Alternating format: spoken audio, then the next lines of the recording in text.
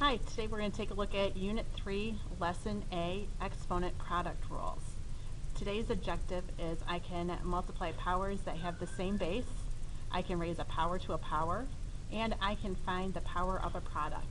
But before we start getting into today's rules, we need to go over some vocabulary. And here we have 2 to the fifth power. And we're familiar with seeing this, but we want to make sure that we use the correct vocabulary when we talk about these things. The 2 is our base. And then we have the 5, which is our exponent. So the exponent is being applied to that base. Um, in the problems today and in future lessons, it's going to be real important that you're paying attention to whether a number or a variable is a base or an exponent because they'll make a big difference in what your answer will be. But let's take a look at our first examples. The directions here say to evaluate. So when you see those directions, that means you're going to have to multiply it out to get a single number for your answer. So our first problem is 2 to the fifth power. So if we write that out first without exponents, this means 2 times 2 times 2 times 2 times 2. And we can type this into our calculator just as we see it, or if you're using your graphing calculator or a scientific calculator, you can use that caret button um, and evaluate 2 to the fifth power. And when you hit enter, it should give you 32. If it doesn't give you 32, you're probably doing something wrong, so you want to probably check that out. Our next problem is negative fifth to the fourth power. This time we have a negative number that's being raised to an exponent. And when you start seeing those negative signs thrown in, we need to be extra careful. And we need to pay attention to whether that negative is also being raised to that fourth power. And here where it's inside the parentheses, the negative is included. So if we were to write this out, this can be rewritten as negative 5 times negative 5 times negative 5 times negative 5. And again, if you're typing this into your calculator, you have to type it in exactly how you see it with those parentheses. If you don't have the parentheses, you will get a wrong answer. So if we evaluate this, we have 5 to the fourth power, and that gives us positive 625. Now number 3 looks very much like number 2, but notice it does not have parentheses. So this means that we're taking 5 and raising it to the fourth power, and then putting a negative sign on that answer. So if we were to write this out without exponents, this means negative 5 times 5 times 5 times 5, and that gives us negative 625. So again, notice how the negative sign makes a big difference, that we need to pay attention to those parentheses too. All right, so let's move uh, down this page, and we're going to go to our next section that is called product of powers. So here we have an example where we have a squared times a to the third power, or, or a cubed.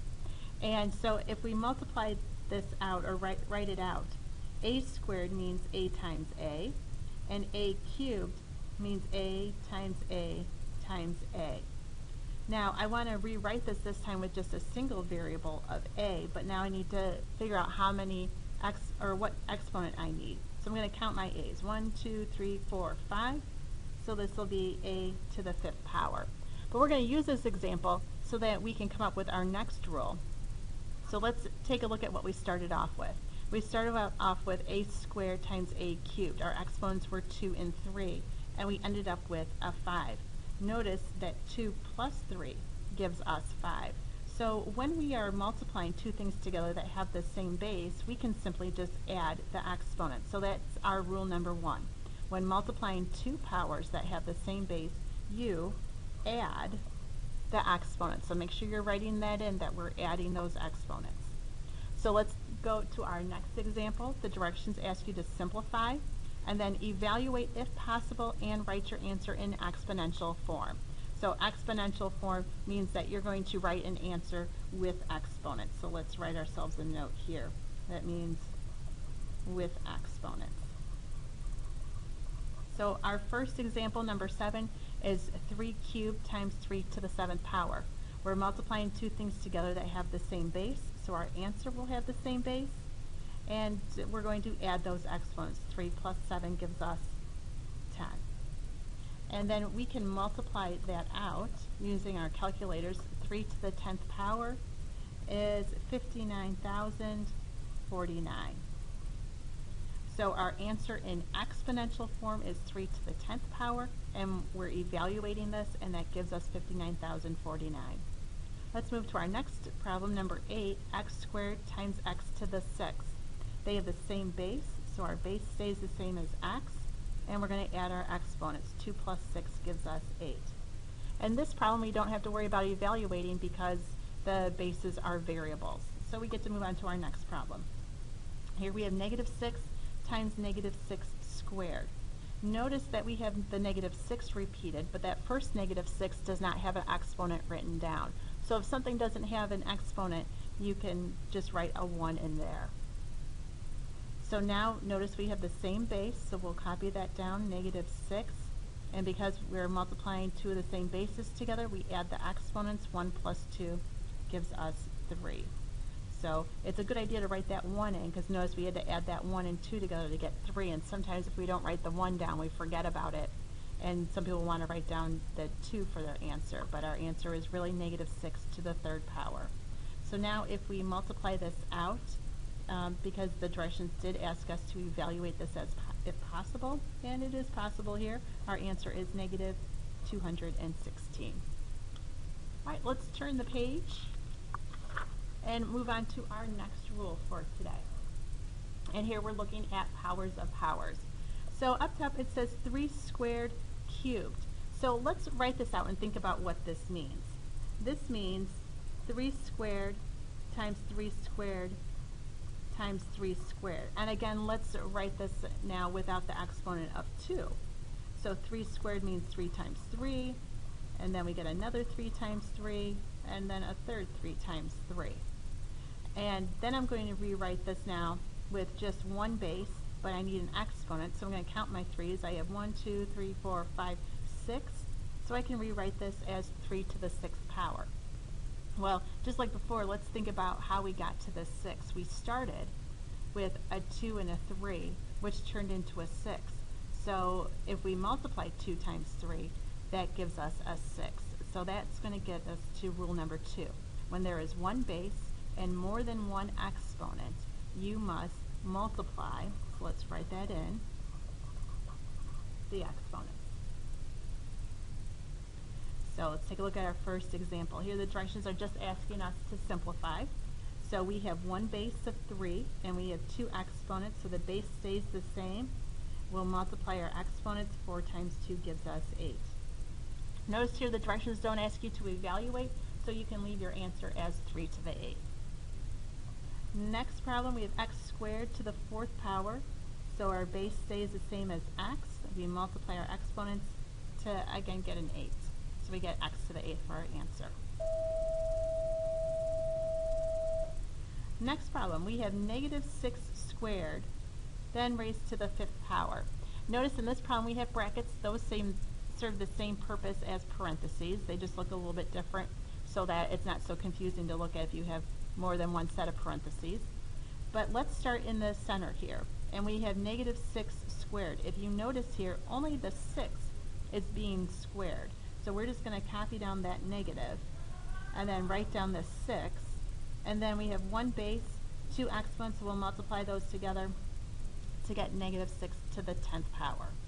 So be real careful with those negatives. Always ask yourself, what is that exponent being applied to?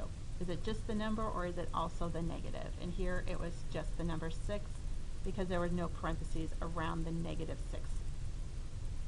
Next uh, section here we have power of a product, which is leading us to another rule for today.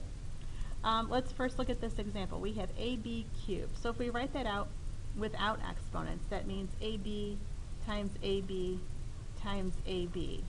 But then we like to clean this up and write it with exponents. So if we count up our A's, we have 1, 2, 3 A's, which can be written as A cubed. And then we have 1, 2, 3 B's, which is B cubed. So let's look at rule number three. When there is an exponent on the outside of the parentheses, you must apply that exponent to everything. I'll write that in. We're going to apply it to everything inside the parentheses. Notice that we started with an A and a B inside the parentheses, and both of them got cubed. So let's apply that to some examples here.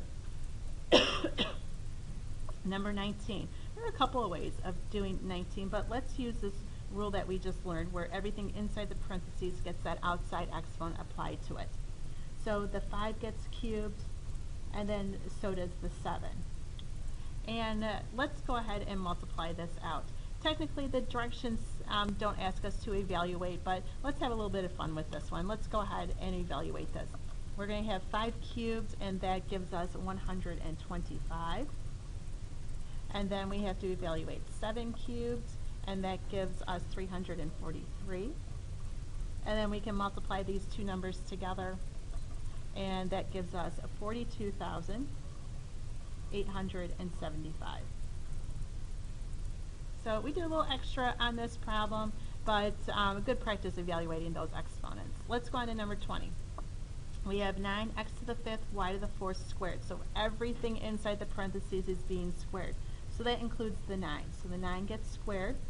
Then we have x to the fifth that's being squared. So we have 1x and two exponents. So that means we have to multiply those exponents together to get x to the 10th. And then we have one y base and two exponents. So we'll again multiply those exponents to give us y to the 8th. And let's go ahead and multiply out that 9 squared, which gives us 81 x to the 10th, y to the 8th. All right, number 21. Here we have another problem with negatives.